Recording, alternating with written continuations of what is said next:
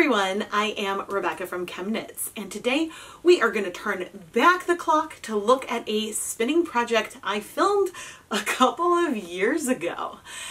I'm not sure if you remember, but once upon a time I dyed some yarn and fiber with Sharpie highlighters and the results were so much fun. After spinning the singles, I really did wish that I had planned to make a two ply yarn. The singles were relatively low twist and fluffy and I didn't want to chain ply it anymore. And so I thought that I would film the process using one of my favorite tips for when I have a little bit of extra hand spun and to make it a two ply. But I hadn't ever tried it on a full skein of yarn. And this trick is to ply using both ends of a center pull ball. Uh, and well, let's go take a look at how it turned out. Hi everyone, I am Rebecca from ChemKnits and I am back with my highlighter dyed roving. Well, this Cheviot fiber is no longer roving, I have spun it into singles, but we still can have a lot of fun with the black light. Uh, the colors that we dyed, especially the ones dyed with the yellow highlighter, which since we learned are pH sensitive and therefore we don't see the yellow on the fiber at all, um, it does still fluoresce after months of being on the fiber. So what am I gonna do with this beautiful, beautiful fiber? Clearly, I've spun 100 grams. This bobbin is mostly full, but there's a few choices. I have these beautiful singles and I could n-ply, um, but I really do want a two ply yarn and I didn't plan for it. So what am I gonna do? I'm gonna wind all of this into a center pull ball and then spin from both ends of the ball. This is a technique that I've done a lot of times when I have leftover, some leftover singles on one bobbin and you know, I don't wanna leave it as singles or chain ply it or something, but I have not done it with a full 100 gram section of fiber. I'm a little nervous that the singles could break, uh, that it could end up twisting all over itself, but I'm also optimistic that I can get the two ply yarn that I see in my brain and that I really want. So let's go give this a shot. All right, I have my ball winder and I'm gonna put the yarn in since these singles are a little thin. I'm gonna make sure it catches. And now I'm just going to carefully wind this into a center pull ball. Now, if I look at the yarn, um, actually my singles are not over twisted. I hope that they're strong enough, but you can see that the amount of twist is pretty low, at least in this area that I'm doing right now. So I think we have a reasonable kind of shot here of creating our yarn.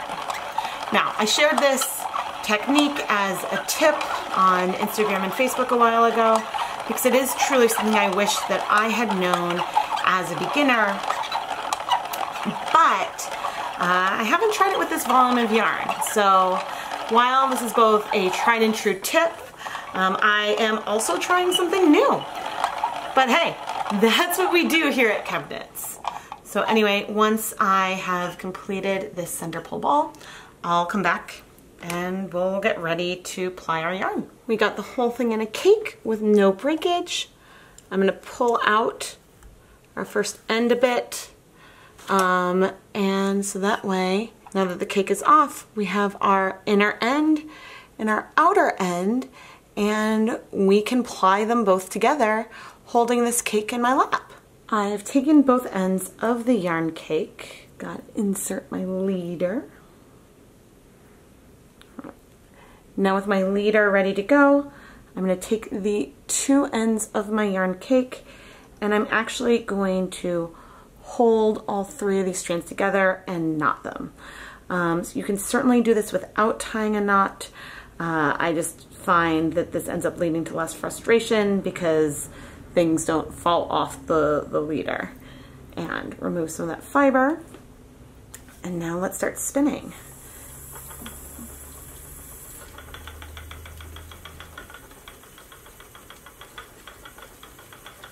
There we go. And now I really am just spinning, drawing the yarn from the two sides of this yarn cake. And we have a beautiful loose two ply yarn. Here's a close-up, uh, not that close, but here's a close-up of the yarn.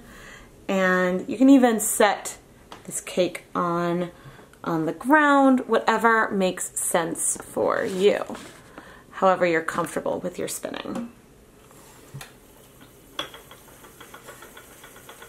But I was actually very impressed that this did not um, break as I was sort of taking it out. Um, I was really afraid that it was going to snap from the tension of winding the ball. Sometimes you'll see some like twists form up. You can just whoop, straighten that out with your other hand. And yeah, I'm really, really happy with actually this really light and fluffy yarn. With the chair I'm sitting in, you don't really want to hold it between your knees because it'd be hard to pull the yarn. It's a little easier to have it sort of tucked um, someplace. If I was on a lower stool, I think it would be a little easier to hold into my lap.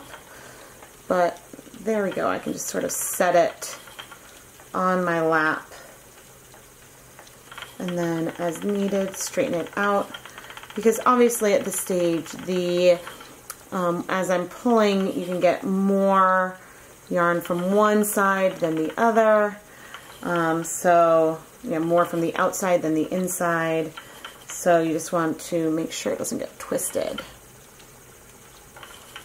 But holding it in my lap, um, it works great. And I'll give you a close-up now that we've looked at my hands a bit of what this is looking like in my lap.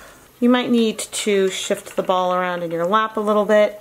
You don't really want it locked in between your knees, but you can see that um, the strands are just you're able to work with both sides at the same time, which, you know, you can do that for many different projects, not just spinning. Now, one advantage here is that when we get to the end, we're going to end up with one continuous skein of yarn versus if we had spun singles, if we had divided the fiber in half and spun our singles onto two separate bobbins, then we might end up with a big skein and a small skein. You know, it's sort of like, you know, you could end up with excess and therefore, not that it's waste because you can still use it, but this really will give us one yarn. And I'm really excited to see what the final pattern will be like. I'm right-handed, I thought it could be worth giving a view of this from my left hand. Hopefully not blocking it too much. But you can see we have these two strands coming together. Honestly, this is a lot quieter when I use the Lazy Kate. Sort of comes with the wheel because I'm not hearing the bobbins like whirl around as I'm spinning and then if I stop suddenly, the yarn is just gonna stay put. It's not really going anywhere. And then when I need the break, I can just sort of lightly leave this cake um, on the bottom of my wheel and cross my fingers that the Chem Kids won't get a hold of it and won't unravel any of the progress that I've made. Here is our two ply yarn so far. It is soft, it is subtle, um, the yarn is mostly this orange and sort of some of the original bare color and some of that highlighter yellow, but then there's these hints of pinks throughout. And so it's just warm and soft and I'm really excited by it. If you would like to know more about how I dyed this fiber with highlighters, with Sharpie highlighters, uh, check out the live stream and recap. I'll have links to all this in the video description. I would also like to thank Paradise Fibers for sending me their Fiber of the Month Club subscription so that way I can share it with all of you. This project has really delighted me. Um, and if you want to learn more about the Fiber or the Fiber of the Month Club, my affiliate link is in the video description. Now at this stage, our yarn cake is still pretty dense. But at some point, it's going to start getting more hollow. And that is where I'm a little concerned. I'm a little concerned that it might twist up and we might end up with a tangled mess. Of course, if that happens, I will come and show you and let you know. But if everything is just smooth sailing, then I might just come back when I've got the finished two ply yarn. The other thing to keep in mind at this stage is that this yarn, these singles don't have a lot of twist in them. When I fold them back on each other, they twist around each other a little bit, but it is certainly not extreme. That level and that low level of twist, I think is one of the things that's gonna give me a success here. If this were one of my yarns where I severely over twisted it, which is a problem that I have a lot, um, finding that balance between breaking and not overdoing the twist, I think that uh, you would be much more likely to run into trouble with the yarn cake with sort of getting those little um, little twists popping up and you know risking more of a tangle but I am very optimistic that I'm going to be able to finish this off. I'm starting to get down to the end of the cake. It's quite hollow and things are still going really smoothly. Again, I think it's because of the relatively low twist that I have in the singles. Check out that pretty, pretty yarn. Now that we are approaching the end, it doesn't look much like a yarn cake anymore. However, I'm still able to pull from it and get the two strands without much issue and things have not yet gotten so tangled that I couldn't easily fix it to keep going.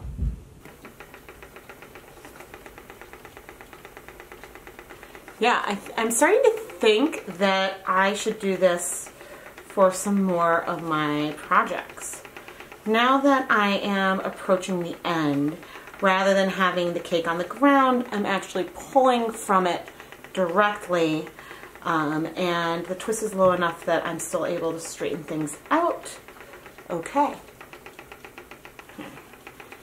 And now we are approaching the very end. Oh good, I'm a little glad that the midpoint is going to be oh, some orange versus uh, some of the pink because I don't think I have any like two ply pink or a lot of that in here. But now you see I've got the end sort of got this little little loop and there we have it. That is the end of our ball that went nice and easy. I just took off the flyer, but we have here a really, really beautiful two ply yarn that has just a small level of twist. And I'm actually really, really excited because I think I got a ton of yardage out of this 100 grams. And I'm not good at getting a ton of yardage out of my hand spun projects. So I'm really excited to see what the final yardage of this will be. And our final test, let's look under it, under our black light. And ooh, look at how much that glows. I suppose this isn't the final test because there will be one more.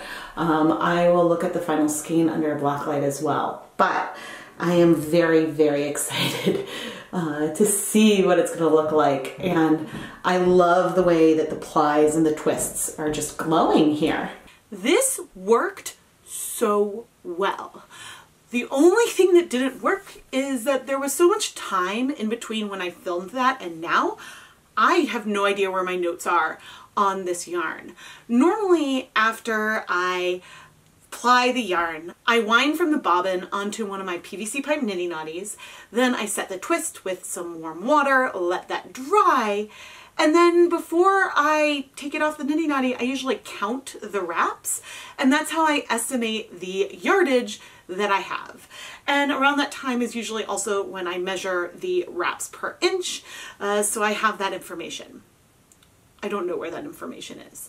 I suppose I can still open this up and count the number of, of like wraps around the niddy knotty I would have. I could put it back on a niddy knotty and then I could check the WPI. Uh, so I will probably do that later on, but uh, I just think that it's funny that I don't have that information.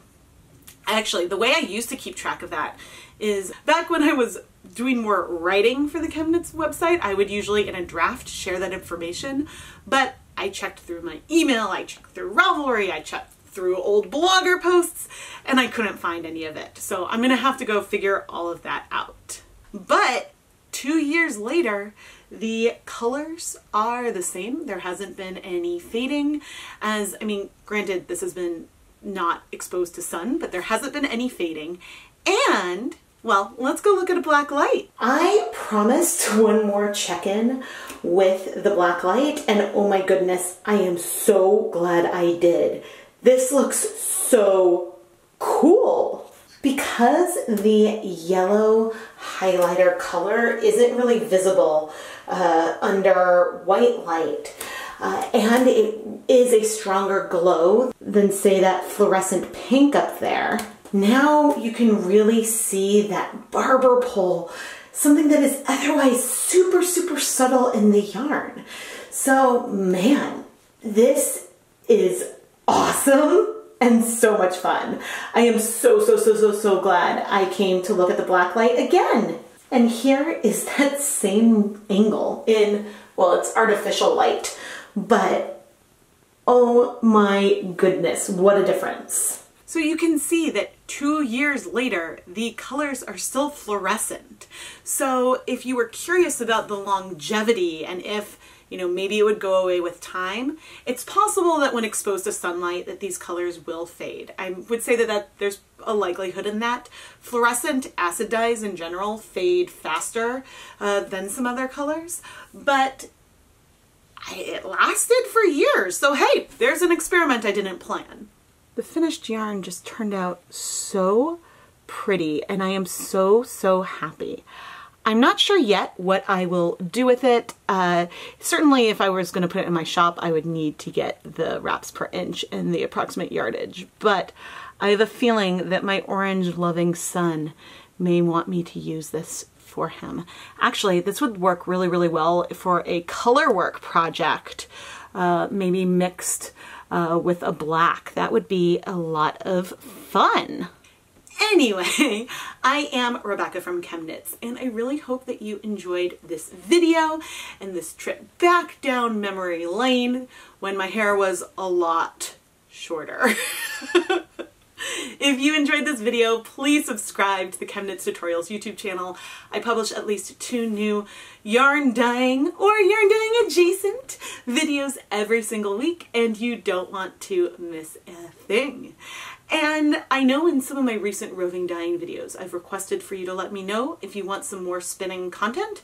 And well, here's some spinning content, but please let me know below if I should try to film some more because it is a lot of fun to film and I think that it would be fun to create more.